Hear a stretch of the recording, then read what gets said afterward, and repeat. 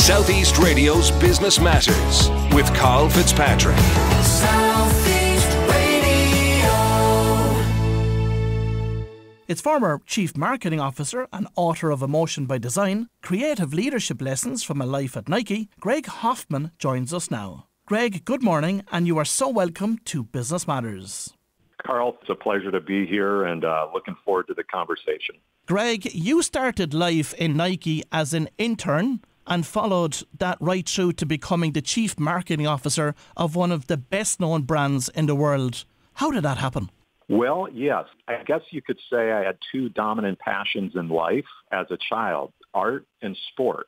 And as I moved through my early life, I always thought I would have to make a choice between the two, you know, a career in design and art or a career in sport and the business of sport. And it just so happened through this internship that I didn't have to make that choice because, of course, Nike has mastered the art of storytelling and bringing immersive experiences through the platform of sport. And so I was able to combine my two passions, and certainly um, that is ultimately responsible for the fact that I stayed there almost two decades. And how would you define Nike's approach to marketing? Well, I I have always said this is that Nike looks to infuse and surround every output from the brand with emotion, right? All the way down to the swoosh and its slogan just do it to the stories it expresses. Nike's approach to marketing is making sure it's stirring the emotions in its audience and most importantly, developing the confidence in their audience and empowering them to achieve their aspirations and goals, right? And so that's, you know, I think a big lesson for listeners is so much of branding is focused on how you want your audience to think about you as the brand. But another big part of it, and a way Nike approached it over the years, was ensuring that you're also spending time thinking about how you want your consumer to feel when they interact with you and their ability to achieve great things. So, talk us through the development process that Nike went through in developing that brand, the swoosh, and of course, the Just Do It tagline. Well, you're asking questions during the process uh, of marketing. Um, if you're developing a campaign or a logo or a slogan or even an Instagram post, you're still asking the question, what are we inviting um, the audience to be a part of with this story, with this communication? Essentially, um, you're creating a movement of potential, if you will, that you're inviting the consumer to be a part of. And of course, with Nike, that was around athleticism and sport. For other companies, it's whatever their expertise is and what they deliver into the world. You're also, again, asking that question of how you want people to feel. Hence my book, Emotion by Design. You're being intentional about the, not only the impressions you want to create in the consumer's mind about your brand, but also kind of instilling um, that idea of anything is possible, right? And so essentially, in terms of marketing, your products and services are essentially a gateway to, you know, a, a, a better future, whether you're an athlete or, or um, a gardener or a cook. You know, that's the invitation to be better than you were the day yesterday. And of course, during your time at Nike, you had some world famous marketing campaigns, but which one stands out to you? Well, I, I really look back at the London Olympics in 2012, and while the world was watching, of course, the best athletes in the world compete on the world stage, um, we went a different route and we celebrated athletes around the world. And how we did that is early on in the process, we discovered that there were 29 different Londons uh, around the world, towns called and cities called London, not London, Nairobi, London in the U.S., etc. And so we really highlighted the everyday athletes like you and I that were having our own version of Olympics each day. And that's what it means to be, you know, a, a brand that um, creates an invitation for everyone to participate. And that's the spirit of Just Do It. How would you describe a brand? Well, first and foremost, it starts with literally naming a product, right? um, is is branding, and therefore you become a brand as soon as you name a product, a place, an individual, etc. But yet you have not created any awareness or um, an impression out in the world. So branding, after you've created a brand, and, and of course branding is the art and science of creating uh, the impression and the associations in your brand in a positive way with your audience. And you do that by practicing brand management and marketing, right? The activities that are going to build that uh, impression and position in the world. And I keep going back to it is an art and a science, right? You know, science representing a lot of the data and analytics, the sig- signals that you're getting from consumer behavior and marketplace dynamics that inform your decision making. The art is equally as important because oftentimes it's the creative storytelling and experiences that you bring into the world and the images you create and the words you use that are responsible for creating the strong emotional bonds with your audience. And it all starts with creating a brand name. So, what advice have you got for doing that?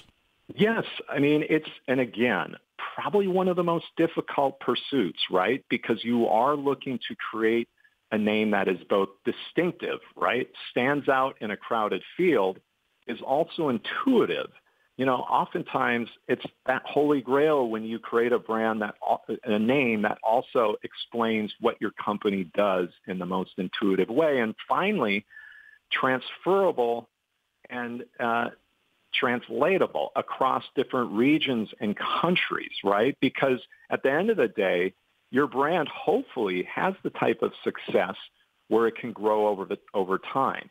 The most important thing to do early on when you're naming your brand is volume. Make sure you you you don't get stuck on your initial idea that you create a continuum of of names and then you get objective voices in the room right that can really help you um, you know get the decision down uh, to two or three best uh, best directions and in relation to positioning that brand then what's involved well, positioning is you're doing two exercises early on. First, because it's it's about points of parity and points of difference, right? So you're making two lists. One is there's no product that is so unique that it is not uh, does not share the same traits as other products within its category, right? There's always points of, of parity, right? So you need to write those down. Once you do that, you also then need to what like what makes your your your product or service stand out? How is it satisfying the needs of your audience, whether they're rational or emotional, uh, in ways that your competitors are not doing? And you need to write those out, right? And from that, from those lists of points of differences, you will create your brand positioning. Then, how do you go about building that brand identity?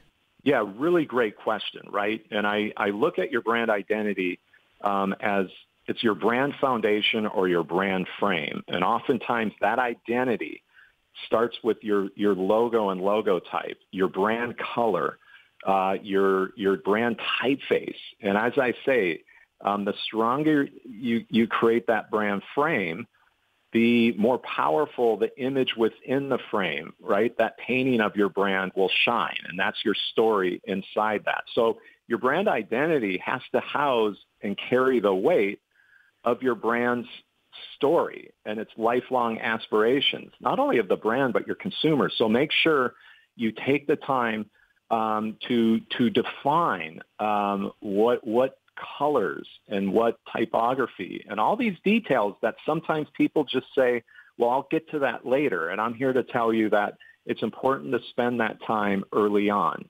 because ultimately um, it is the platform for which you present your products. And as you know, like the swoosh, your logo is the punctuation of everything you say.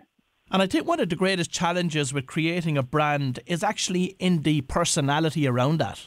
So essentially that is your your brand voice, right? So a brand personality is, you know, what are the characteristics and traits that you believe embody your brand? And just like a human being, there isn't just one or two. There are many. right? Our our persona, what makes us unique is a mosaic. And it's important to understand that, you know, over the life of your brand, you're going to exercise your voice in a variety of different ways. And it's important not to use the same tone of voice over and over again, because just like a human being, if you, if you're saying the same thing and speaking the same way over and over again, you might become boring or even worse, annoying, and your audience may go somewhere else. So make sure you define the characteristics of your brand. And then two, make sure you're, you're differentiating the tone of your voice throughout a given year as you're telling your story to the consumer. And if all of that is done right, you're then going to build excellent brand equity. You know, the first thing you're trying to do as a young brand is create brand awareness, right? And once you kind of start to invite people into your brand and, and get them to take notice, um, of course, then you want to make sure that you're top of mind in, in, in their mind when they're starting to make decisions on which brand they want to start a relationship with and which products they want to create. And so it's important to build that equity, right? And to make sure everything you're creating, whether it's, it's again, a social media post, um, an in-store display that's marketing your product, or, or a YouTube video, all of these things should be additive. They should, should continue to build equity and strength in your brand, right? And it's, it's just compounding effect over time. And it's really important that you're not creating things that are eroding your brand equity, right? That they're multiplying it, right? And you don't want indifference.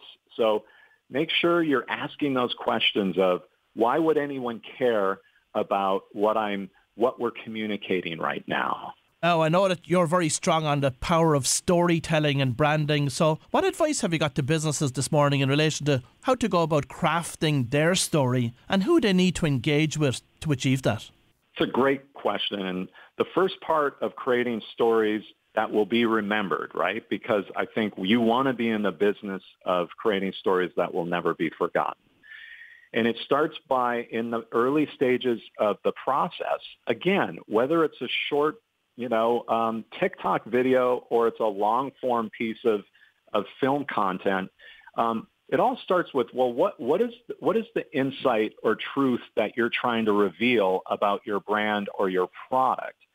And to do that, again, it gets back to that idea of empathy, seeing what others see, but finding what others don't. You can't just you can't just communicate things that are obvious and that are observations. You need to get to real insights and truths because once you have that great truth, then you can have all sorts of fun figuring out the most profound way to reveal that to the world, right?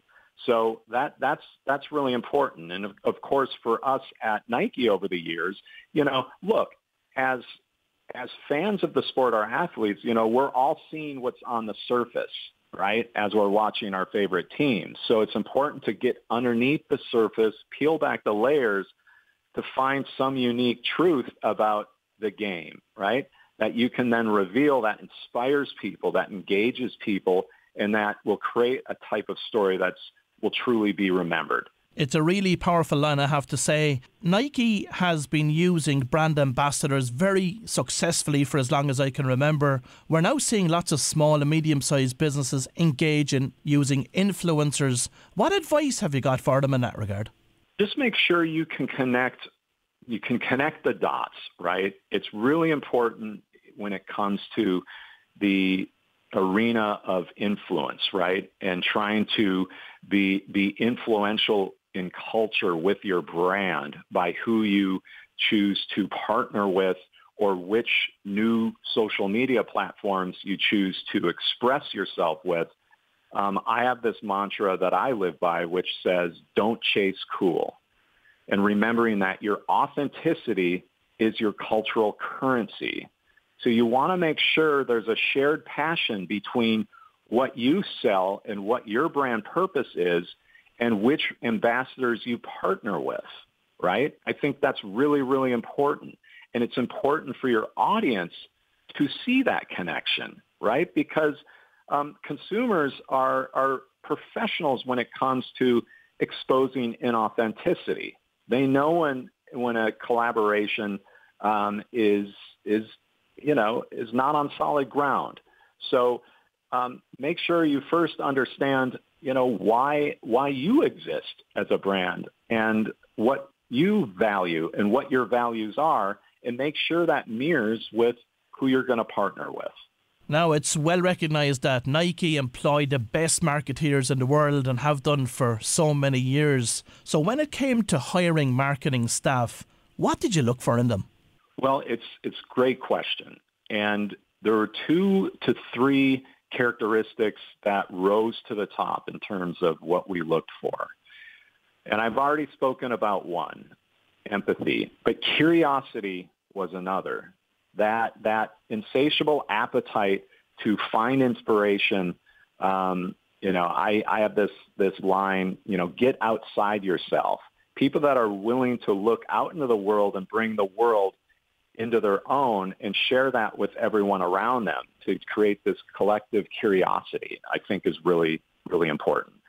And then this idea of collaboration and being able to play as a team is extremely important, right? Because, you know, you're, you're looking to create creative chemistry or as they say, radical creative collaboration to achieve the types of, of you know, uh, distinctive experiences and storytelling and campaigns in the world. So, uh, and then finally, I would say this commitment to obsessing the details, right? Um, does the individual hold the smallest details to the highest standards? And of course, there are so many channels, both online and offline, available to businesses to distribute their content, their advertising, their marketing collateral through today. Sometimes I feel that businesses are now going for quantity over quality. What are your thoughts on that?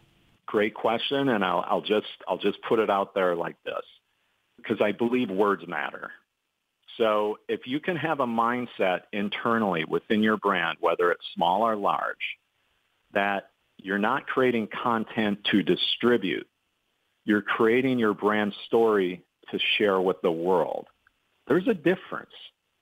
Making sure that everything you're doing, because the word content is pretty broad, but when you say you're expressing your brand story, no, no matter how small or large uh, the output is, that's quite powerful. And when you use the word share versus distribute, all you're asking your team to do, because you're right, they're moving at great speed. They're moving at the speed of the consumer, and we must do that as an industry. But with that said, you also want everyone to respect the craft. And if you look at brands like Apple, you look at a lot of the fashion brands, you look at Nike, um, they understand that what they're actually doing is revealing different aspects of their brand story. And oftentimes today, it's co-created with their audience. And Greg, on your journey to becoming the chief marketing officer with Nike for many years, who inspired you along the way? It's a great question, and I had many. And of course, to to work alongside all these athletes and teams and coaches um, was was of of great inspiration.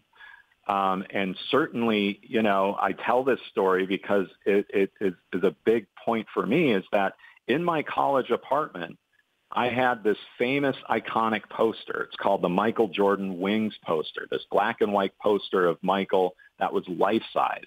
And underneath that was a William Blake quote underneath his image that said, no bird soars too high if he soars with his own wings. So imagine looking at that poster every day I got out of class. And then a year later, I was working for the very individual that designed that poster, right? So I tell that story to say, well, it's both historical voices, William Blake, it's contemporary uh, individuals like Michael Jordan, who is setting the world on fire with, with his exploits on the basketball court. And then it's my first boss who decided to dis- defy conventional ways at that time that por- posters were being created and literally created a piece of art through your work at Nike, you got a great insight into Michael Jordan, one of the greatest athletes that we've ever seen. What stood out about him? I think it's just the level of, of passion, commitment, and will to to improve. Right. I think the best athletes, um, just like the best leaders, uh, never rest on their success. Right. I think that's really important. Another thing I want to point out here is um, with with Michael Jordan is that I always look back at the my favorite commercial of all time from 1997, the Jordan failure commercial, where he said, I've missed 9,000 shots. I've lost 300 games and I've been, been looked to to take the game-winning shot 26 times and I've missed. But because I've failed over and over again, that's why I succeed.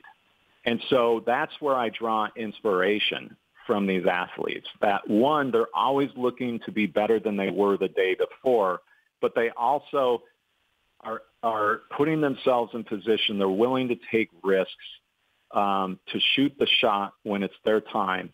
And um, I just think in life that's that's uh, something we can we can all take uh, insights from. And Greg, finally, what does the future of marketing hold for us? Well, of course, it's it's ever changing uh, in real time before us, right? Because you know all the conversations we have today about Web 3.0 and uh, the metaverse and NFTs, right? But at the end of the day, uh, the one the one truth is that I believe the most successful marketing is marketing that serves, marketing that serves the p- purpose of empowering your audience to achieve their aspirations and, and dreams in both a meaningful and inspiring way. Now, it just so happens that the mediums that the our audience, that our consumer is choosing to use, um, are are changing, and you have to meet the audience where they are. They will not come to you. That's the most important. So where they are choosing to engage with brands is where you must play. And so it's really important within your brand team, whether you're a small or large company, that you're in the conversation, that you're looking out at emerging platforms and capabilities.